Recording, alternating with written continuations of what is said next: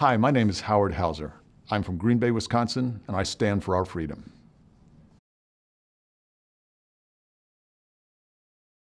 I care about stopping corruption of money in politics because money, big money, is a equal opportunity thief. Whether you're Republican or Democrat, it is stealing your representation, your vote, and ultimately your freedom.